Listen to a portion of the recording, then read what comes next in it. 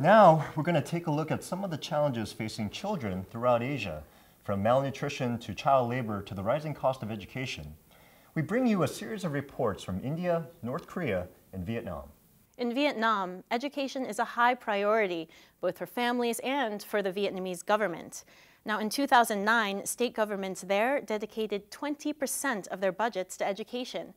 But the skyrocketing cost of living in Vietnam is making it challenging for low-income students to stay in college.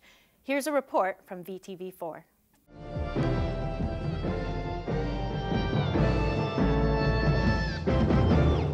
Born into a farming family in the central province of Nghe An, Lê Công Khanh is the first among eight brothers and sisters to pass the university entrance exam.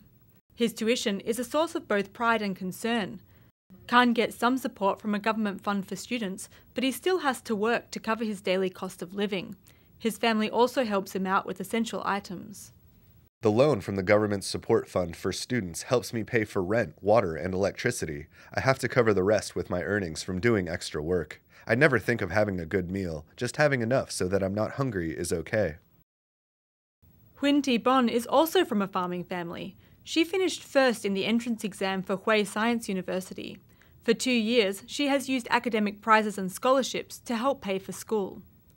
My parents are very worried about my education, but they can't give me anything. They're too poor. I promised myself that I would overcome all these difficulties to complete my studies. Another academic year has begun, and poor students continue to get by. Their difficulties encourage them to keep striving for a better future. Link TV is the only U.S. network dedicated to global and national news, uncompromising documentaries, and diverse cultural programs.